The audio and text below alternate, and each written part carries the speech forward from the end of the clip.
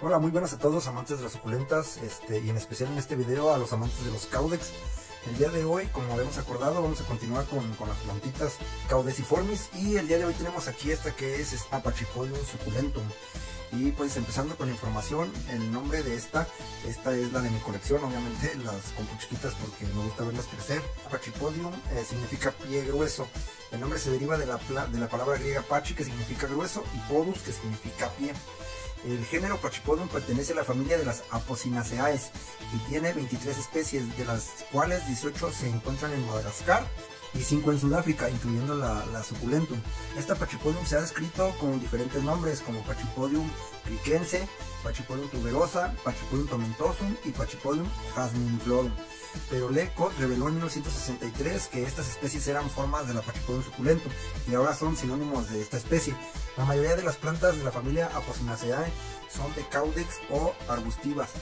Muchas son venenosas y contienen alcaloides en los tejidos de la planta.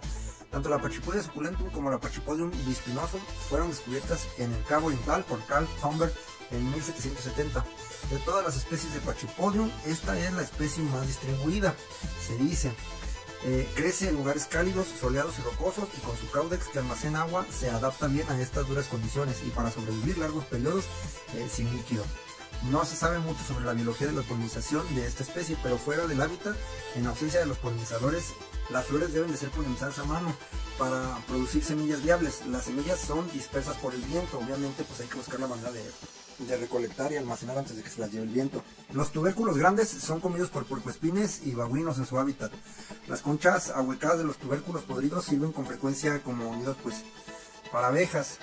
Y ahora viene pues el dato que, que nadie sabía de esto o que muy poca gente debe conocer. Fíjense que un trozo de raíz empapado en agua tibia es un tratamiento tradicional de algunas tribus de Sudáfrica este, para las úlceras estomacales, ¿verdad? Obviamente no creo que la gente que pague lo que cuesta por acá una de esas vaya a querer cortarle un pedazo a de que le vaya a pasar algo, pero ahí está el dato. Esta plantita es fácil de cultivar y se puede propagar mediante esquejes, detalles y también por semilla. Obviamente por esqueje pues no se recomienda si eres amante de los caudex porque no te va a dar el caudex, ¿verdad? Pero si lo quieres para sacar flores y para poder reproducir pues es una buena opción. Este, y esos esquejes pues se trata que sacarlos en temporada de crecimiento, en, primavera o en verano. Y por parte de las semillas, pues lo mismo en primavera o en verano, en un sustrato bien drenante, con, eh, un lugar eh, pues húmedo y con un clima cálido.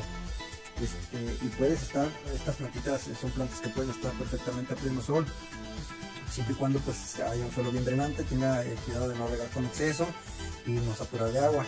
Estas plantitas se adaptan mejor a una región con un invierno seco, no soportan las heladas fuertes o deben mantenerse pues en algún lugar donde adentro de casa, por ejemplo, para que no les vayan a dar las heladas muy fuertes.